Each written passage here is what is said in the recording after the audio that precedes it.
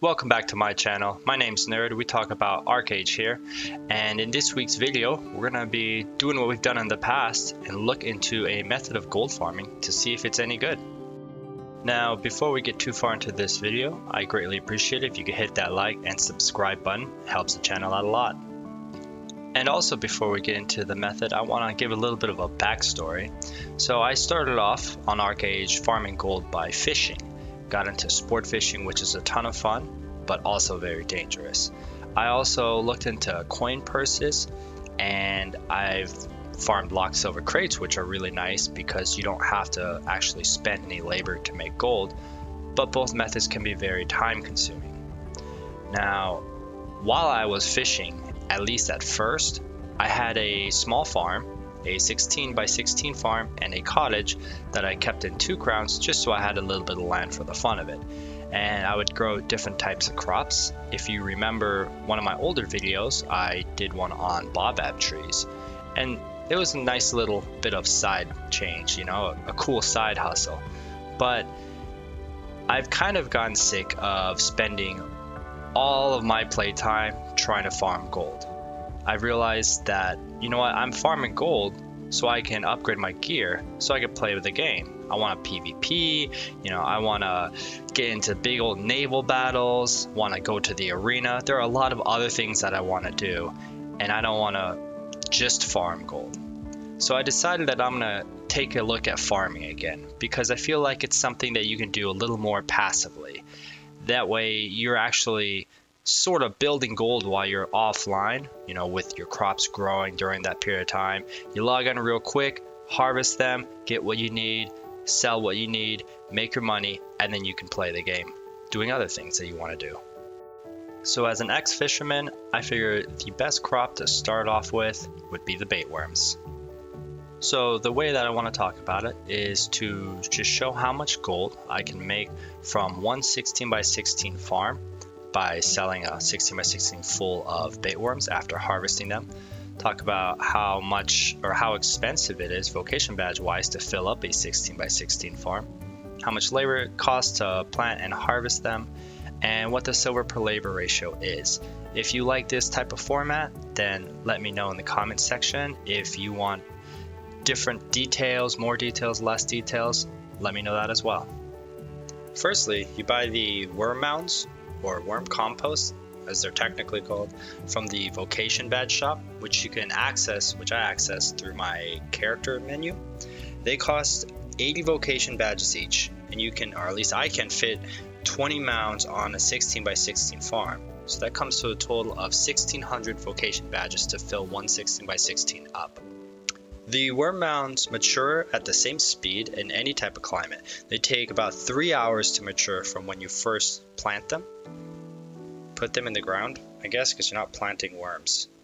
And once they mature, they take about 15 labor at the base harvesting to harvest one of the mounds. So a full 16 by 16 of 20 mounds will take you 300 labor. On this sample harvest, I got 339 worms, which is about 17 worms per mound. The worms at this time of recording were selling for about 6 silver and 22 copper per worm. That was the average on the auction house.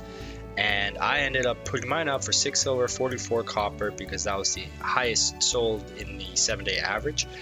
And it came out to a total of 21 gold, 83 silver, 16 copper for this 116 by 16 of baitworms. So at 21 gold, 83 silver, we use 300 labor for the farm, divide it out, comes out to 7.3 silver per labor, which is pretty awesome, especially for a passive method of gold farming. Next, I want to go over some cool features that are on the auction house that I didn't know about at first, so maybe some of you guys don't know about them. There are some tooltips or tooltips tools built in that allow you to check the highest cost that an item is sold for, the lowest price that it is sold for, the seven day week average cost that people are selling, for instance, these worms for, and the same day average price. They also have a chart that shows how many have sold every day. I guess it's technically a bar graph, but how many have sold every day for the last week so you can know if they're selling on your server frequently or not. I would definitely recommend becoming comfortable with these tools. That way you can make sure that whatever crop you're gonna grow, harvest, and try to sell is something that is selling on your server and is selling for a decent price instead of you know spending a whole bunch of vocation badges or a whole bunch of gold to buy a ton of seeds or saplings, grow them up, and find out that you're not gonna make as much of a profit as you had hoped you would.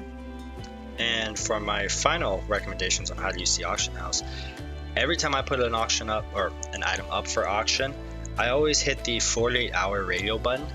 So the item is up on the auction house for 48 hours instead of for 6 or 12 or 24. You have a higher chance of selling them if they're on the auction house for a longer period of time.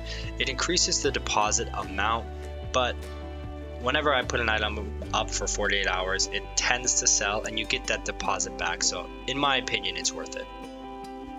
Now, 21 gold and 83 silver might not seem like a lot, but you have to realize that you can harvest these worm mounds very often. They only take 3 hours to mature, so that's a total of 8 times per day that you're able to harvest these worm mounds.